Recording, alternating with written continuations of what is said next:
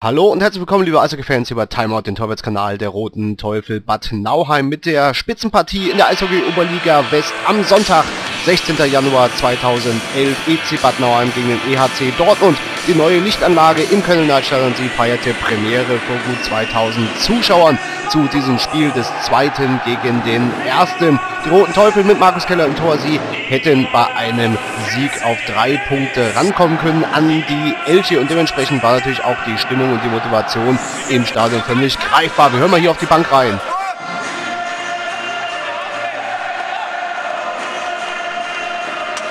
Da wird sich angefeuert. Auf geht's. Auch auf Englisch natürlich. Let's go.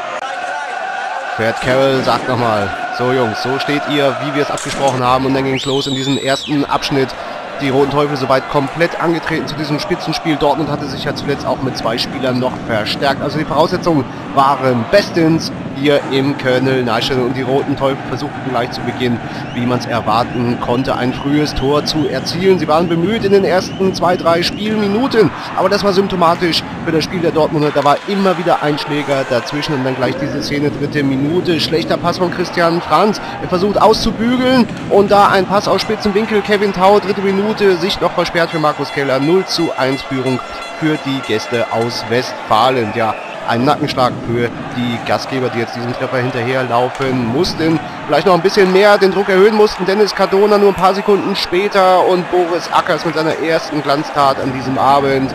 Der Ex-Teufel hielt seinem Team die Führung. Eine Riesenmöglichkeit für die Kurstädter und auch in der nächsten Situation Ackers mit dem Schoner zur Stelle. Also da war gleich richtig Pfeffer drin in diesem Spiel, das ein hohes Tempo hatte viel Zug zum Tor von beiden Mannschaften. Die Gastgeber vielleicht mit ein bisschen mehr Spielanteilen, aber das war ja auch zu erwarten zu Hause. Mussten sie das Spiel einfach machen.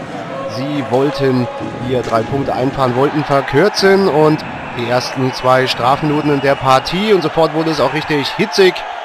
Und danach gab es sogar zweimal zwei Minuten Sondermann draußen bei den Elchen und auch Manuel Neumann. 5 gegen 3 Powerplay, also zwei Minuten lang für die Gastgeber. Und da zeigte Boris Ackers schon wieder, dass er natürlich einer der besten Goalies in der Liga ist und ausgerechnet gegen Markus Keller natürlich das Duell, da wollte er zeigen gegen seinen letztjährigen Backup, der ihn dann ja verdrängt aufgrund einer Verletzung in Bad Nauheim, dass er es natürlich drauf hatte. Noch Markus Keller wurde dann mal gefordert, Dortmund mit Konter, das war auch zu erwarten. Ohnehin das ganze Spiel, wenn Bad Nauheim die Partie machen würde, nach vorne spielen würde, auf Fehler warten und dann kontern. Und dann dieser Schuss von Jan Barter, 17. Minute, da erwartete Boris Ackers wohl einen Pass an die blaue Linie. Stattdessen ein Drehschuss und zur Überraschung aller das Ding im Netz. Wunderschönes Tor aus Sicht der Roten Teufel genau richtig. 1 zu 1 nach 17 Spielminuten. Also aber gleich nächste Szene, nicht ganz eine Minute später. Diese Situation 3 gegen 2 Flachschuss und wieder Tor Hörtler macht es. Er hatte alle Optionen, konnte nach links oder rechts passen und Markus Keller, was blieb ihm alles übrig? Er musste einfach abwarten, versuchen zu reagieren, konnte er nicht mehr. Flachschuss unter die Schoner durch. Wieder die Führung für Dortmund. Exakt 54 Sekunden nach dem Ausgleich. Ja, Konstellation bei den Roten Teufeln, die dann auch ihrerseits eine Strafe hinnehmen mussten. Dennis Cardona, 19. Minute Powerplay jetzt für Dortmund, kurz vor der ersten Sirene. Markus Keller gefordert, die Scheibe kommt einfach nicht raus. Jetzt von Pivovacic. Auch gleich die nächste Angriffswelle der Elche. Langer Pass. Da passt Oliver Bernhard nicht auf. Schuss und 3 zu 1. Schweiger, der Torschütze, nach diesem Pass von Kreuzmann bei 19, 19 exakt. Also drei Tore jetzt für Dortmund. Die Elche kassierten aber ihrerseits noch zweimal zwei Minuten kurz vor der ersten Drittelpause. Das war auch das einzig Gute, was man mitnehmen konnte, dass man mit 5 gegen 3 Powerplay in den zweiten Abschnitt starten konnte. 3 zu 1 Rückstand, zwei Tore. Ja, das war natürlich schon eine Hypothek und jetzt versuchte man zumindest den Anschlusstreffer zu erzielen in diesem doppelten Überzahlspiel, aber man musste sich sogar noch diesen Konter entgegensehen. Hörtler prüft hier Markus Keller souverän vom Schlussmann gelöst, aber das war natürlich bei 3 gegen 5 eine Szene, die man überhaupt nicht braucht. Das wäre vielleicht sogar schon die Vorentscheidung gewesen, das vierte Tor für Dortmund. Stattdessen jetzt wieder die Bad Nauheimer. Versucht es aus allen Lagen und Manuel Weibler endlich 22. Minute der Anschlusstreffer in Überzahl für den EC. Und jetzt sah das doch auf der Anzeigentafel schon wieder ein bisschen positiver aus und das gab auch richtig Auftrieb für die Gastgeber, die hinten nur das ein oder andere Mal in diesem zweiten Abschnitt gefordert wurden. Und dann war da ja Markus Keller ganz souverän, gar kein Problem. Aber die Roten Teufel ihrerseits viel mehr vor dem Tor von Boris Ackers. Viel mehr Spielanteil in diesen zweiten 20 Minuten, aber da hinten mit Boris Ackers eine Wand die man nur sehr schwer überwinden konnte. Da waren so 10 Minuten circa in diesem zweiten Abschnitt um die 30. Minute herum, als die Hausherren so richtig am Drücker waren auf den Ausgleich, aber irgendwie immer ein Schläger, ein Schlittschuh oder Boris Ackers dazwischen. Es war einfach kein Durchkommen, auch hier Manuel Weibler im Slot stehend und nächster Schuss und immer wieder Boris Ackers hat er jetzt die Hartgummischeibe sicher. Das war ein furioses Match und auch Fred Carroll schüttelt so ein bisschen den Kopf, sagt, Mensch, das gibt's doch nicht. Da muss doch mal einmal das Hartgummi durchgehen. Nächste Szene, Christian Franz, Pfosten und prallt noch von Boris Ackers hinten, aber er hat sie dann sicher und gleich wieder Kreuzmann im Gefecht mit Alex Alten, Matthias Baldi ist noch dazu und Boris Ackers zeigt an oder will hier irgendwie noch etwas fordern vom Schiedsrichter, aber der machte es gut, Schiedsrichter Lehnhardt hatte die Situation allesamt sehr gut im Griff, kam eigentlich mit Strafzeiten aus, die notwendig waren. Andere Schiedsrichter hätten vielleicht noch viel mehr gepfiffen, denn da war natürlich Pfeffer drin in diesem Match, in dem die Roten Teufel unbedingt den Ausgleich wollten. Aber dieser Fehler von Lendiger selten mal gesehen. Und da muss Boris Ackers, Entschuldigung natürlich, der Markus Keller, der Boris Acker stand letztes Jahr auf der Seite, muss er ausbügeln hinten. Aber das war natürlich zu erwarten, wenn man hinten ist, muss man den Druck weiter erhöhen und die Fehler gleich im Konter. Das war Dortmunds Stärke an diesem Abend, dass sie gleich die Fehler auch ausnutzen, so wie hier möglicherweise Glück gehabt. Nach diesem Break von Ziolkowski musste wieder Markus Keller mit dem Schoner hin. Das vierte Tor wäre wohl die Vorentscheidung, so mochte man meinen an diesem Abend.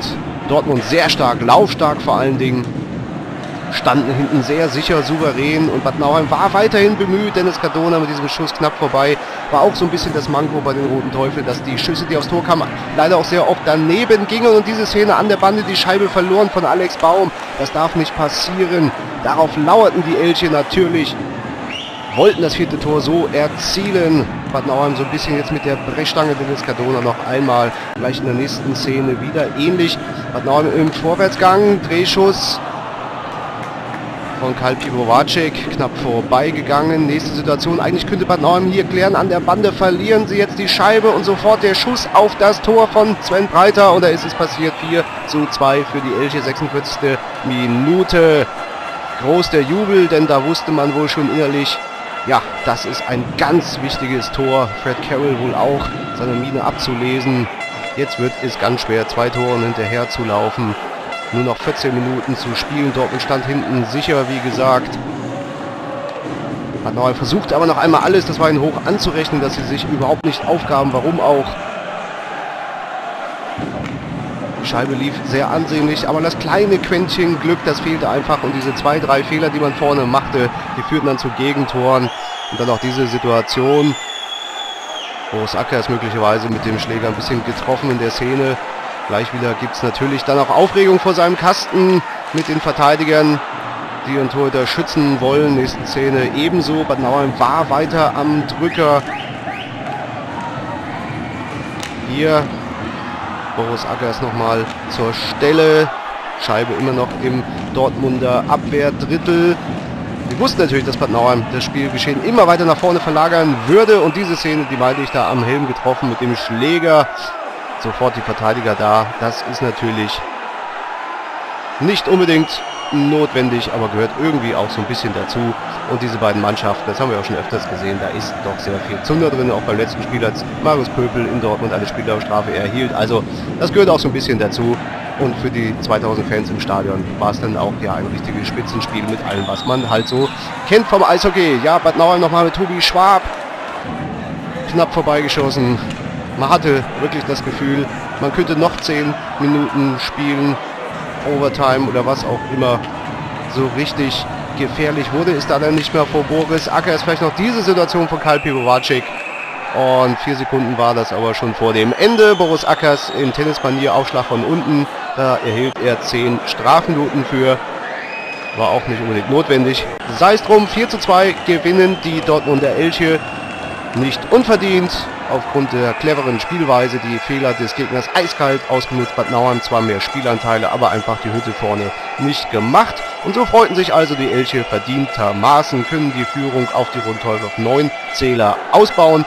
Aber noch ist die Saison nicht vorbei. Elf Spiele sind es noch, alles ist möglich. Die Gegner nehmen sich noch die Punkte ab und die Roten Teufel mit dem nächsten Heimspiel gegen Hamm am 21. Januar. Da sehen wir uns auch hier bei Timeout wieder mit dieser Partie und mit dem Video. Wir verabschieden uns, schaut wieder rein, kommt zum Heimspiel gegen Hamm. Wir freuen uns. Bis dahin, macht's gut und tschüss.